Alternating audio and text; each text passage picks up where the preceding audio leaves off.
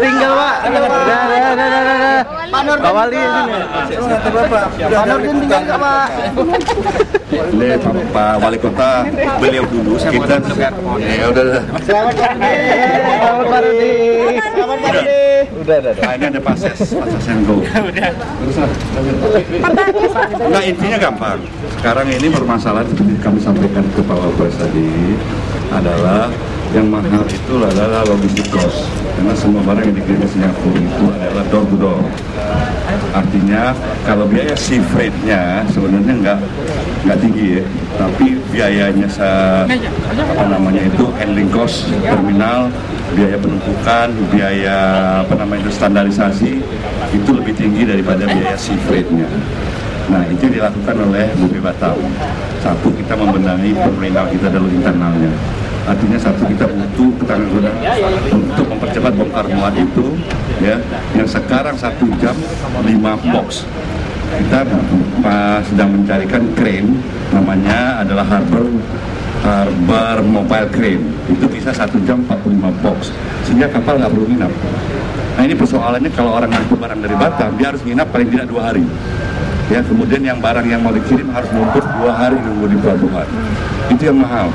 Nah kemudian kita tidak punya kontainernya kontainernya masuk ke Batam kemudian dia kirim lagi ke sana untuk disertified baru dikirim ke Batam baru diisi barang Batam baru keluar. Artinya tiga kali bolak balik ini yang bikin mahal. Nah permintaan Pak Wapres adalah supaya kita bisa menurunkan dari 400 menjadi 250 Nah, per box, use ya. Nah, sekarang kalau sudah kita lakukan konsolidasi kontainer dan shipping, katanya shipping company dan shipper ya pengangkutnya, kita sudah bisa menurunkan 30 sampai 50. 30 untuk kontainer 40 feet, 50 untuk kontainer 20 feet. Udah dan artinya permintaan Pak, Pak Presiden untuk menurunkan shipping sudah kita lakukan. Sekarang kami, nih kawan sebelah Pelindo deh, kami bekerja sama untuk mengembangkan artinya mengembangkan lagi terminal kita ini supaya lebih efisien sehingga yang paling kita kejar adalah logistik cost-nya.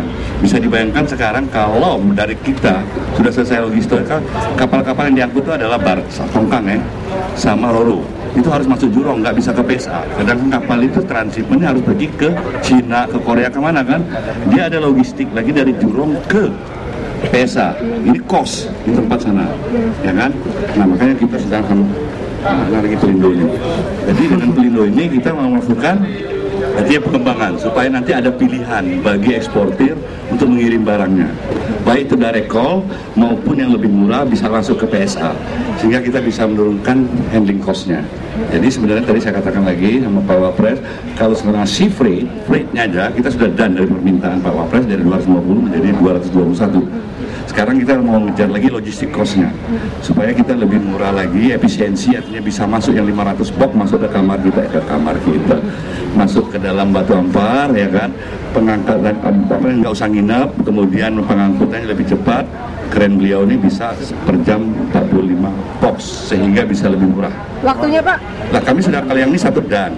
Kami harus bekerja April, April ini kami harus mengejar penurunan logistik cost ya penurunan logistik yang kami kejar ini kan dalam US dollar nih.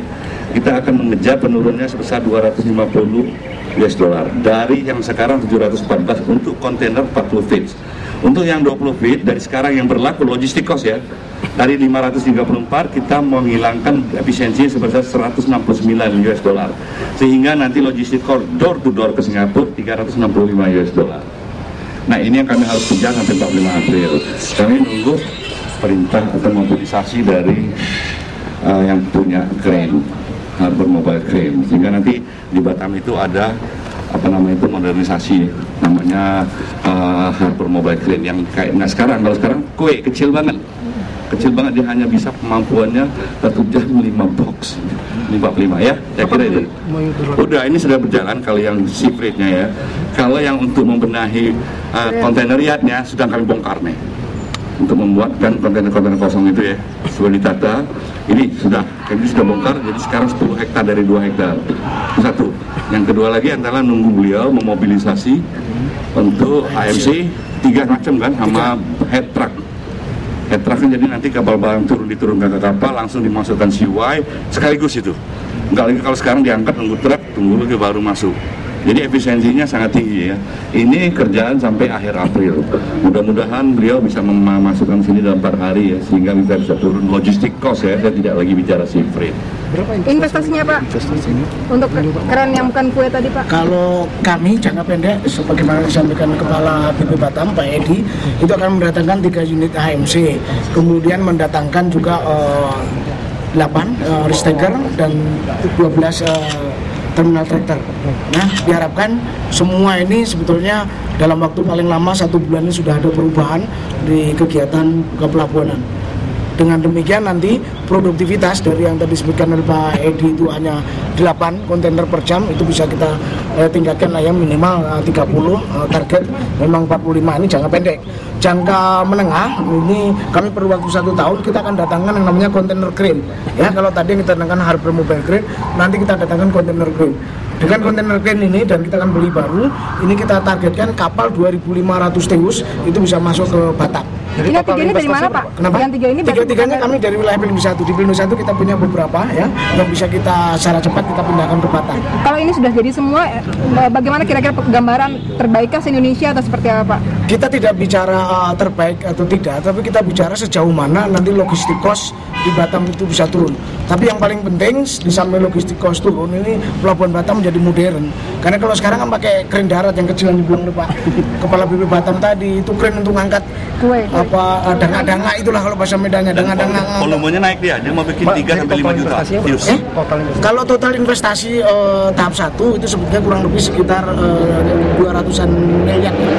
Tapi untuk investasi jangka menengah kita beli tiga kontainer dan satu kontainernya itu 10 juta US. Karena kita beli baru kali tiga kan 30 juta, 30 juta kali eh, 14 sudah eh, 520 miliar. Jadi kira-kira kalau untuk jangka menengah itu kira kita alokasikan anggaran sampai dengan satu triliun. Ya. Pak, kalau harinya Pak, potongan harinya berapa? Jadi berapa? Eh, hari kapal. Loh, kalau dengan uh, HMC itu kalau yang bisa dilayani kan akhirnya kan bar, per 500. 500 dibagi 30 itu bisa itu sendiri kan berapa. Tetapi kalau kontainer van targetnya adalah untuk kapal 2500 ya. Sebetulnya ada ada standar di pelayaran itu. Bars itu tidak mau sandar lebih dari 12 jam di setiap pelabuhan. Kalau kapal 2500 tidak mau sandar lebih dari 24 jam. Itu aja. Jadi itu harus selesai tidak nginap. tidak akan menginap. Oke ya. Ya, oke. Terima kasih.